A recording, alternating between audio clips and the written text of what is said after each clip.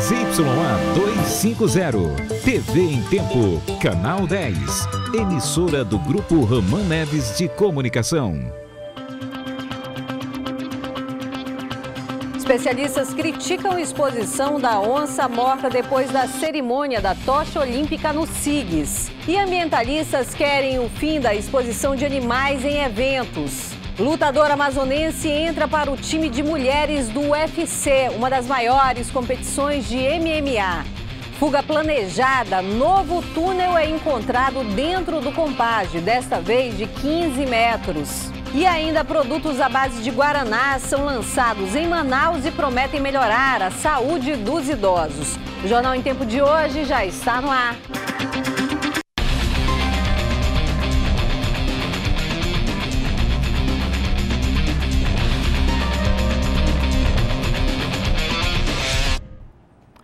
Olá para você que acompanha o Jornal em Tempo pela internet. A morte da onça Juma ontem, depois da cerimônia da tocha olímpica no SIGS, comoveu e revoltou muita gente. Especialistas criticaram a exposição de animais em eventos como esse. Logo na entrada do primeiro Batalhão de Infantaria do Amazonas, a imagem de uma onça filhote em situação de risco, resgatada por soldados do Exército na floresta amazônica. Juma, a onça pintada, foi um desses casos e se tornou a mascote do primeiro bis há nove anos.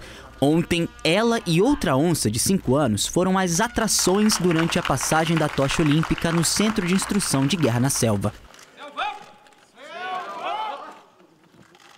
Mas ninguém imaginava que pouco depois da cerimônia, durante a troca de jaulas, Juma fugiria dos cuidadores. Durante o resgate, ela foi atingida por tranquilizantes que não surtiram efeito.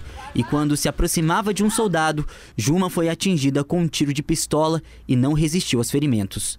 O símbolo do Centro de Instrução de Guerra na Selva é uma onça. E para os militares é comum utilizar esses animais durante solenidades e até mesmo eventos do Exército. Mas para os especialistas, isso é um risco, porque causa estresse no animal. E esse pode ter sido o motivo que fez Juma fugir durante a troca de jaulas aqui no SIGS. O fato do animal ser acostumado ou estar amansado é, não quer dizer que ele não seja um animal selvagem. A onça sempre vai ser um animal selvagem. Então, é impossível você prever exatamente qual vai ser a reação dela. A onça pintada é uma espécie ameaçada de extinção e isso gerou questionamentos sobre a manutenção de animais selvagens em centros de exército na Amazônia.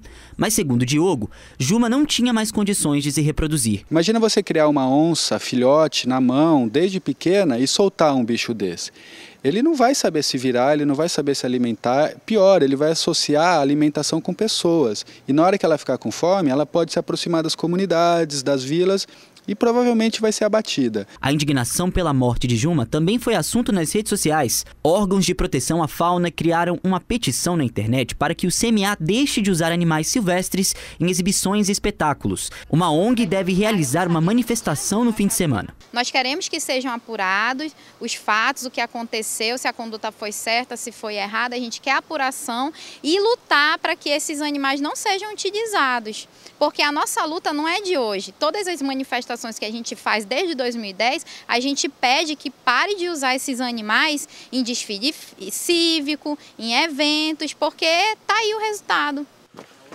Além disso, para todos os eventos, inclusive para o revezamento da tocha no SIGS, o Comando Militar da Amazônia precisa pedir autorização do Instituto de Proteção Ambiental do Estado para expor esses animais. Em nota, o IPAAN divulgou que apenas a onça de 5 anos estava autorizada a participar da cerimônia, que multas podem ser adotadas contra os SIGs. O comando militar disse que uma sindicância foi instaurada e o prazo de resposta será de até 30 dias, podendo se estender por mais 30.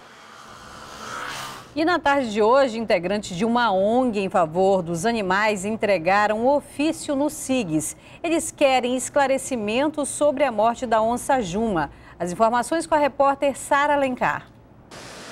É isso mesmo, Marcela. A notícia da morte da onça Juma ganhou repercussão nacional e também causou muita revolta, principalmente para aqueles que defendem os direitos dos animais. E mais cedo, integrantes da ONG União de Política de Animais estiveram aqui no SIGS para conversar com a direção e também para entregar um ofício pedindo mais esclarecimentos sobre o que teria acontecido para que a Juma fosse sacrificada. Eles também são contra a utilização de animais em qualquer tipo de evento. E eles têm outro questionamento a fazer com relação à nota emitida pelo IPAAN, informando que não deu autorização ao SIGS para a participação da Juma durante o evento de revezamento da tocha olímpica, e sim que autorizou apenas a participação da onça Simba. O IPAAN já está sabendo do caso, já se manifestou em relação ao assunto, se posicionou no sentido de que não houve autorização para a utilização da Juma, mas sim de uma outra onça.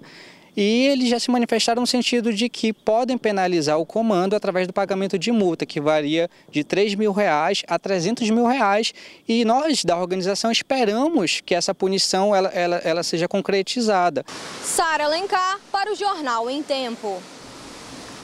E uma audiência pública discutiu hoje no Ministério Público Estadual o reordenamento da saúde com a participação da população. A preocupação dos Ministérios Público Estadual e Federal é evitar falhas no serviço.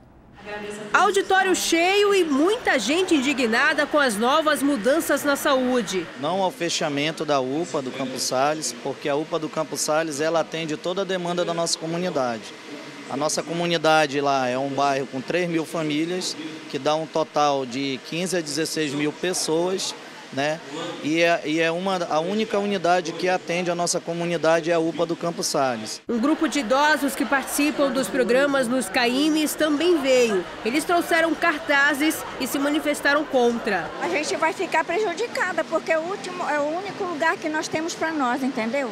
Para a gente atender, ser atendida pelos médicos, por todo mundo de lá, entendeu?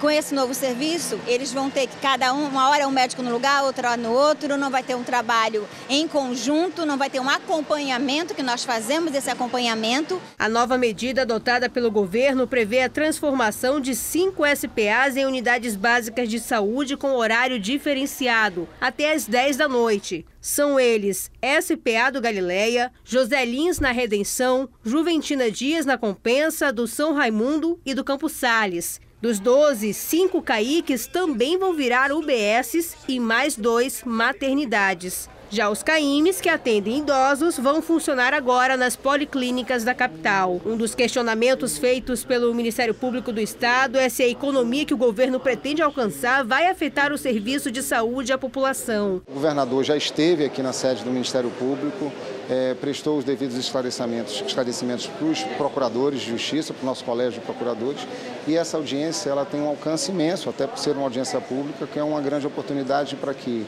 as instituições façam as suas sugestões, o próprio governo, a Secretaria de Saúde, façam devidos esclarecimentos. Preocupados com isso, os Ministérios Públicos estadual e federal acompanham de perto as mudanças. E a gente ainda tem algumas dúvidas, sim, quanto ao número de leitos, quanto a, a, ao acesso ao serviço público pela população. Então, inclusive, a questão da, das linhas de ônibus já foi questionada às secretarias, se vai, vai ser resguardado o acesso da população a essas unidades, como que vai ser feito o transporte, para que o atendimento ele se se mantenha é, eficaz, eficiente e adequado. E no âmbito desse inquérito, nós achamos por bem é, realizar essa audiência pública para que as pessoas possam conhecer um pouco do, do que é esse plano de reordenamento. O plano de reordenamento deve ser implantado na rede estadual de saúde em julho, mas o secretário disse que até lá algumas situações ainda podem ser adequadas. O que precisa ficar bem claro aqui, especialmente a população, é que não se fez nenhum tipo de medida para depois conversar. Nós estamos conversando, ouvindo, discutindo o tema de maneira como acho eu, nunca vi, inclusive enquanto servidor público, com essa abrangência na rede pública de saúde de Manaus, para que possamos então efetivamente definir um cronograma para começar é, o reordenamento de maneira muito planejada e muito responsável, para que ninguém possa sofrer com descontinuidade de atendimento. Agora o esporte. O Amazonas vai ter uma representante no UFC, que é uma das maiores competições de MMA do mundo. Kathleen Vieira é a primeira mulher amazonense a entrar para o UFC e ela vinha lutando e muito para isso. É muito gratificante, né, ver meu trabalho sendo reconhecido.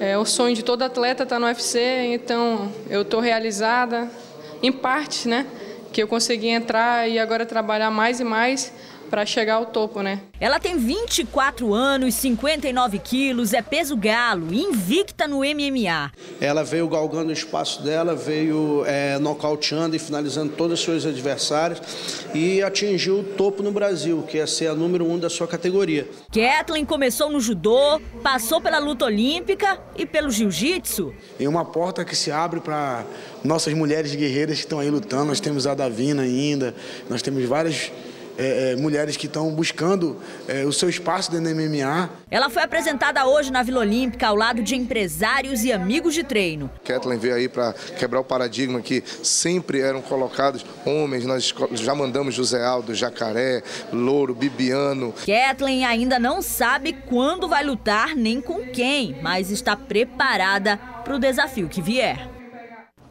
Daqui a pouco, o túnel de 15 metros é descoberto no Compage e ainda produtos à base de Guaraná podem ajudar idosos do Amazonas. É já já.